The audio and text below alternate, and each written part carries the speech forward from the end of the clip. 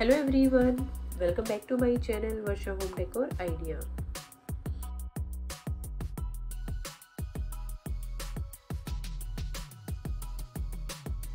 आज के इस डीआईवाई को बनाने के लिए मैंने यहाँ पे एक सीडी और एक डीवीडी ली है, आप कुछ भी ले सकते हैं।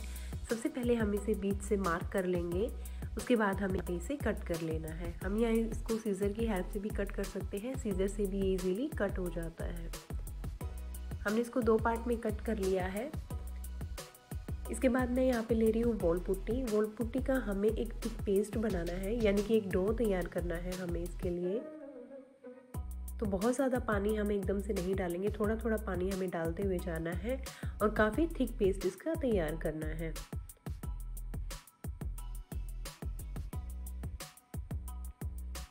तो ये देखिए मैंने एक डो तैयार कर लिया है। इसके बाद मैंने ये एक ट्रांसपेरेंट शीट ली है। इसके ऊपर हम अपने डो को लगाएँगे और रोलर पेन की हेल्प से इसको थोड़ा सा हम रोल करेंगे। कुछ इस टाइप से हम इसको रोल कर लेंगे। अब इसके बाद जो सीढ़ी हमने कट की थी, इसके ऊपर उसको हम लगा देंगे। जो दोनों सीढ़ी के बीच का गैप है, वो हमें थोड़ा ही रखना है, बहुत ज़्यादा हमें गैप यहाँ पे नहीं रखना है। इसके बाद जो एक्स्ट्रा हमारा ये पुट्टी बच गया है, ये डो बच गया है, उसको हम यहाँ पे कटर की हेल्प से कट कर लेंगे। बहुत क्लोज से हमें कट नहीं करना है, थोड़ा सा छोड़ते हुए ही हमें इसको कट करना है। अब इसको हम वन नाइट के लिए ड्राई होने के लिए छोड़ देंगे। सो कम्प्लीटली ड्राई होने के बाद मैं यहाँ पे इसको कलर कर लूँगी। मैंने यहाँ पे येलो और ऑरेंज कलर का यूज़ किया है। आप अपनी चॉइस के अकॉर्डिंग कोई भी कलर यूज़ कर सकते हैं। अंदर की साइड मैंने यहाँ पे ऑरेंज कलर किया है। बाहर मैंने फ्रेंड डायरेक्टली येलो कलर कर दिया था तो आप डायरेक्टली अगर ये वाला डीआईवाई बनाते हैं तो डायरेक्टली येलो मत कीजिए, पहले वाइट कीजिए देन उसके ऊपर ही येलो कीजिए। पेंट को कम्प्लीटली ड्राई होने के बाद मैं यहाँ पे कुछ फ्लावर बनाऊँगी। फ्लावर बनाने के लिए मैंने यहाँ पे रेड और पिंक कलर का यूज़ किया है। आप चाहें तो और कोई भी कलर यूज़ कर सकते हैं और अलग टाइप के भी कोई फ्लावर बना सकते हैं। वो आपकी क्रिएटिविटी के ऊपर डिपेंड करता है कि आप यहाँ पे क्या बनाना चाहते हैं। मैंने बहुत ही सिंपल से रोज़ फ्लावर बनाने की कोशिश की है यहाँ पे। आप चाहें तो यहाँ पे डिकोपाज भी कर सकते हैं। वो आपकी अपनी चॉइस है कि आप यहाँ पे क्या बनाना चाहते हैं। साथ में मैं यहाँ पे कुछ लीव भी बना लूँगी। दोनों साइड मैंने सेम पैटर्न बनाए हैं। लीफ को बनाने के लिए मैंने यहाँ पे लाइट ग्रीन और डार्क ग्रीन कलर का यूज़ किया है। तो इसे हम कम्प्लीटली रेडी कर लेंगे अपने पूरी सीढ़ी के ऊपर। मैंने इस टाइप से ही कुछ बनाया है पूरे में। तो ये देखिए, ये मेरा कम्प्लीटली हो गया है। इसके बाद मैं यहाँ पे कुछ डॉट कर दूँगी। डॉट करने के लिए मैंने यहाँ पे थ्री आउटलाइनर का यूज़ किया है क्योंकि मेरे पास रेड कलर का रखा हुआ था पहले से। साथ में यह मैं यहाँ पे नीचे की साइड में गोल्डन कलर कर दूँगी। मैंने यहाँ पे मेटलिक गोल्डन कलर यूज़ किया है क्योंकि इसका इफ़ेक्ट मुझे काफ़ी ज़्यादा अच्छा लगता है। अगर आप ज़्यादा पैसे खर्च नहीं करना चाहते तो नॉर्मल एक्लेरिक कलर का जो गोल्डन वाला कलर आता है, उसको भी यहाँ पे कर सकते हैं। सेम ऐसे ही मैंने यहाँ पे ऊपर की साइड में भी अपने फिंगर टिप की हेल्प से कुछ यहाँ पे ऐसे गोल्डन कलर कर दिया है। तो ये देखिए, ये हमारा कम्प्लीटली रेडी हो गया है। और लास्ट में अपने पूरे आर्ट वर्क को प्रोटेक्ट करने के लिए हम यूज़ करते हैं वार्निश तो वार्निश के एक से दो कोट करने के बाद प्योरली हमारा वाटर प्रूफ हो जाता है। तो इसी के साथ मेरा फ़र्स्ट डी रेडी हो गया है फ्रेंड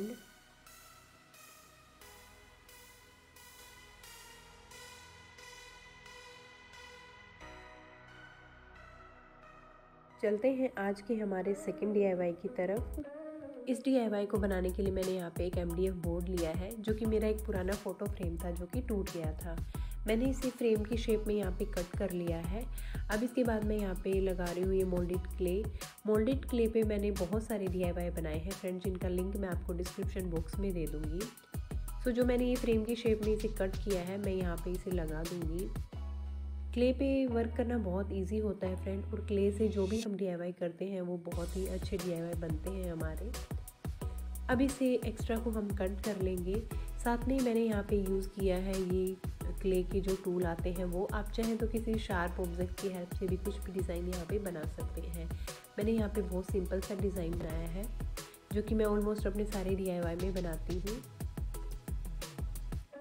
अब इसके बाद मैंने यहाँ पे ब्लैक और वाइट कलर को मिक्स करके ये ग्रे कलर बनाया है। जिसको हम यहाँ पे एक ही कोटिंग में ही हमारा बहुत अच्छे से फिनिशिंग दे रहा है, क्योंकि डार्क कलर में हमारी एक से दो बार में अच्छी फिनिशिंग आ जाती है और एमडीएफ बोर्ड पे हम इसे यूज़ कर रहे हैं तो एक ही शेड में हमारा बहुत अच्छे से कलर आ गया है। अब इसके बाद मैं यहाँ पे अंदर यूज़ कर रही हूँ ये चौक पेंट आप चाहे तो नॉर्मल एक्लेरिक कलर भी यूज़ कर सकते हैं इसके लिए। हमें यहाँ पे क्ले के बने हुए डिज़ाइन के ऊपर अच्छे से कलर फिल कर देना है। इसके बाद मैंने यहाँ पे लिया है स्टेंसिल जो कि मैंने इच्छी बिच्छी से लिया था। अब मैं यहाँ पे पेंटिंग नाइफ की हेल्प से ये टेक्सचर पेस्ट लगा दूँगी। हमें पूरे फ्रेम के ऊपर ये वाला डिज़ाइन बनाना है। सो इस टाइप से हम यहाँ थोड़ा सा ध्यान से लगाते हुए जाएँगे। और एक साइड कंप्लीट और ड्राई होने के बाद ही हम दूसरी साइड अप्लाई करेंगे। सो बाकी के फ्रेम पे भी मैंने पूरे पे ये वाला डिज़ाइन बना लिया है। इसके बाद मैं यहाँ पे ले रही हूँ पर्ल का वाइट कलर इसको हम अपने क्ले वाले डिज़ाइन के ऊपर स्पंज की हेल्प से लगा देंगे। सो इसी के साथ हमारा सेकेंड डी भी रेडी हो गया है।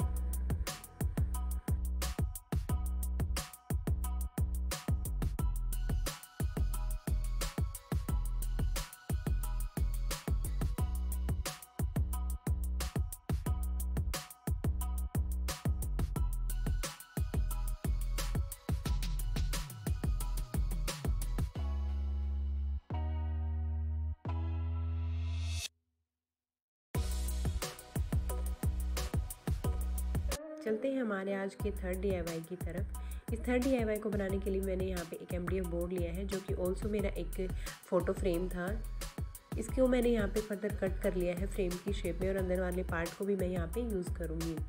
साथ ही में मैंने यहाँ के, यहाँ पे डो का एक पेस्ट लिया है और इसको मैं इस टाइप के कटर की हेल्प से यहाँ पे कट कर लूँगी। ये एक्चुअली हमारे केक कटर आते हैं, जिनको मैं यहाँ पे यूज़ कर रही हूँ। सो इस टाइप का ये सनफ्लावर शेप का है इसको हम यहाँ पे ये फ्लावर निकाल लेंगे। बहुत इजीली निकल जाता है और बहुत ही सुंदर फ्लावर बनते हैं हमारे इससे। अब इसको मैं यहाँ पे अपने फ्रेम के ऊपर फेविकोल की हेल्प से लगा लूँगी।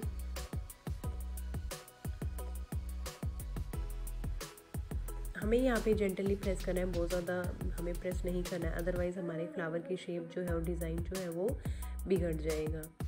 सेम ऐसे ही मैं यहाँ पे पूरे फ्रेम के ऊपर कहीं कहीं ये फ्लावर लगा लूँगी। अगर आप चाहें तो यहाँ पे मोल्डेड क्ले का भी यूज़ कर सकते हैं।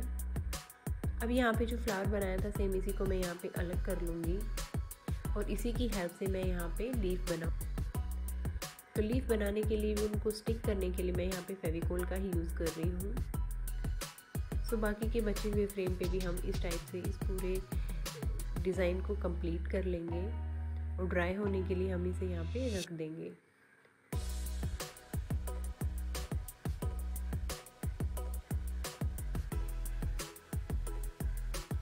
ये कम्प्लीटली ड्राई हो गया है। इसके बाद मैं यहाँ पे दो कलर को मिक्स करके एक कलर बना रही हूँ मैरून और ब्राउन कलर को मिक्स किया है मैंने यहाँ पे। और इसको अपने पूरे फ्रेम के ऊपर मैं यहाँ पे लगा दूँगी। आप चाहे तो यहाँ पे स्पंज का भी यूज़ कर सकते हैं। मैंने यहाँ पे कहीं कहीं पे ब्रश का यूज़ किया है और कहीं कहीं पे यहाँ पे स्पंज का यूज़ किया है। फर्दर हमें एक स्टेप करने के बाद दूसरे स्टेप पे जाने के लिए थोड़ा सा टाइम रुकना पड़ता है। साथ में ही मैंने इस फ्रेम के कॉर्नर को भी यहाँ पे पेपर टेप की हेल्प से कवर किया है।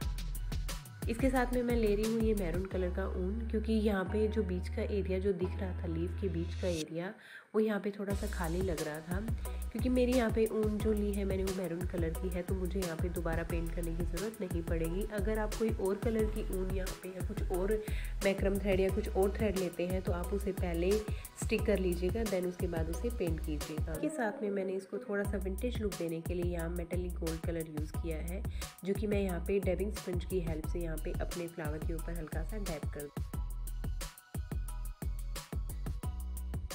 इसी के साथ हमारा आज का थर्ड डी भी रेडी हो गया है।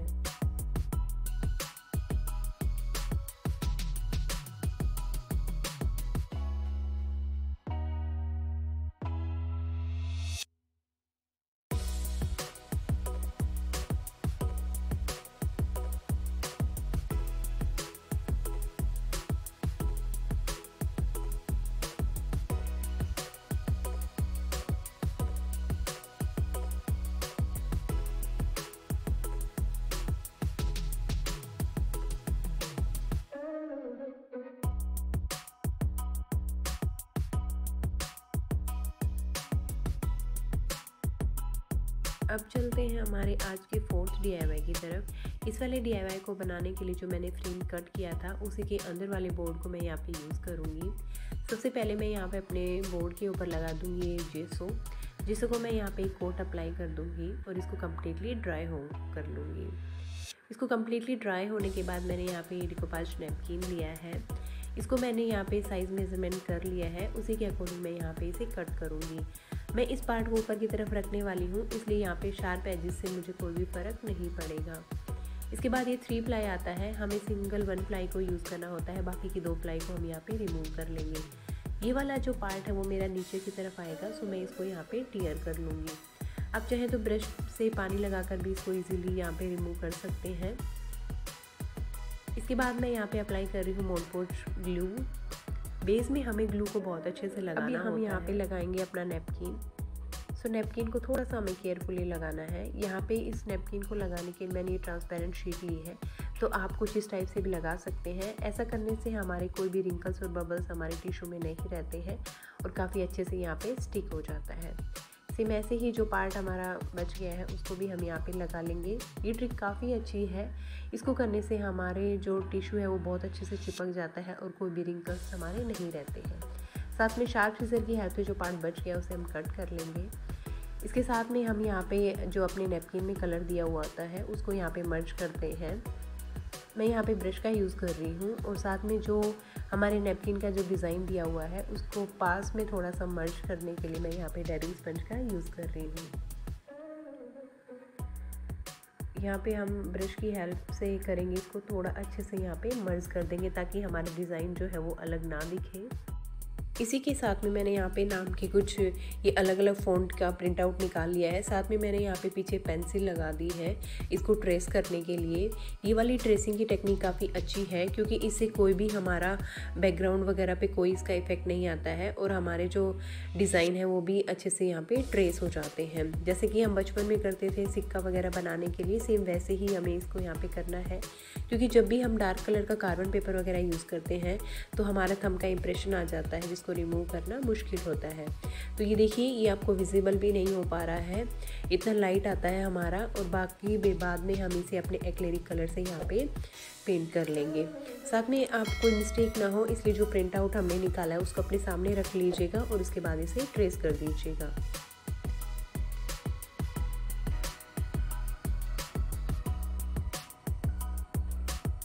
आप चाहें तो यहाँ पे मार्कर का भी यूज़ कर सकते हैं।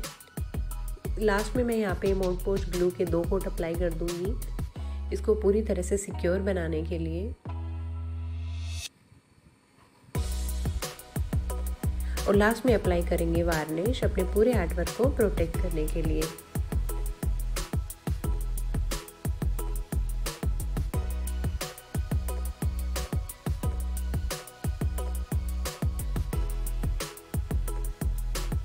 इसको हैंग करने के लिए मैंने जो हमारे कैरी बैग आते हैं जो हमारे शॉपिंग बैग आते हैं उन्हीं की यहाँ पे एक डोरी ले ली है और इसको पीछे स्टिक कर दिया इसको हैंग करने के लिए। सो so, आज का मेरा फोर्थ डी भी रेडी हो गया है फ्रेंड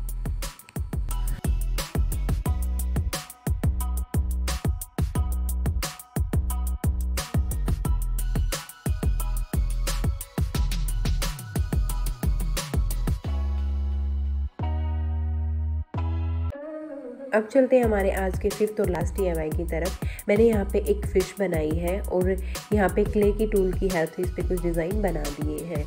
इस वाले पार्ट को मैं शूट नहीं कर पाई जो डिज़ाइन मैंने बनाया है फ़िश का बट ये बहुत ही ईजी है। आप इसको ईजीली बना सकते हैं। साथ में फ़िश को बनाते टाइम मैंने यहाँ पे आई और माउथ की भी एक शेप दे दी है और इसको यहाँ पे कलर कर लेंगे। अब जो डिज़ाइन फ़िश के ऊपर बना है, उसको थोड़ा सा हम यहाँ पे हाईलाइट करेंगे। तो मैंने यहाँ पे पर्ल कलर का यूज़ किया है। साथ ही में मैं अब इसकी यहाँ पे आई बना दूँगी ब्लैक कलर से। कुछ इस टाइप से। तो इसी के साथ हमारा आज का ये फिफ्थ डी भी रेडी हो गया है। आप इसको अपने प्लांटर वगैरह में कहीं पे भी लगा सकते हैं। साथ में मैंने नीचे की साइड एक होल्ड किया था तो स्टिक की हेल्प से आप इसको कहीं पे भी स्टैंड भी कर सकते हैं।